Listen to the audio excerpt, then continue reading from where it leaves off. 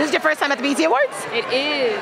And you're here not for Miss USA, you're here for your own project, the, the science project, am I correct? Well, we can say that. Get closer. Yeah, we can say that, but no, I'm actually here for Miss USA, so I'm part of the Miss Universe organization. Can, oh, so how is it being Miss USA? It's Like, different. can you show me the hand wave? Actually, we don't do that. What? That's all television. So show me the TV wave then. okay, you know, just the regular one. We're regular people. Hey, Yeah. you? Yeah. So how, what, what, what, happens now that you're crowned? What do you do?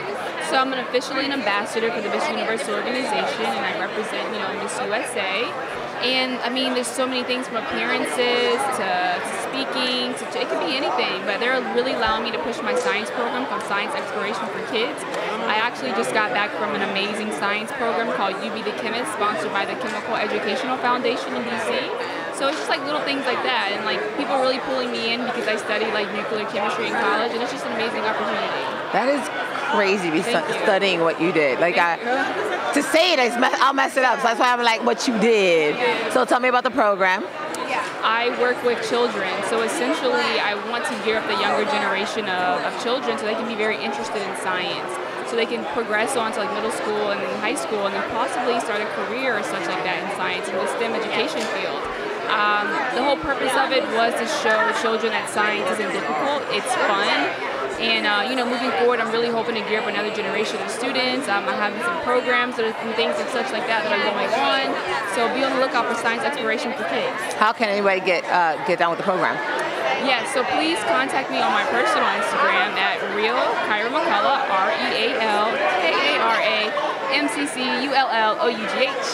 And um, you know, moving forward, I'm going to be needing like a lot of volunteers, especially like in the DMV area as well as New York.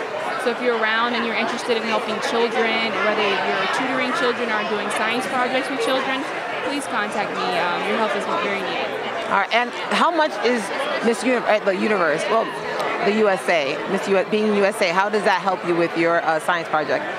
Well, I started it in college. It was a self-funded program. I just wanted to do something in the community because I was actually a child who struggled with math. And I realized it was because it was the way I was being taught. And the thing about it is I like to bring like a personalized learning to the classroom of children.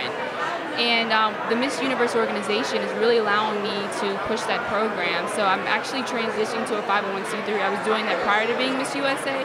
So they're really going to allow me to continue to do a lot of science visits and also, um, you know, hopefully I get into the schools, like I said, in the DMV and the New York tri-state area.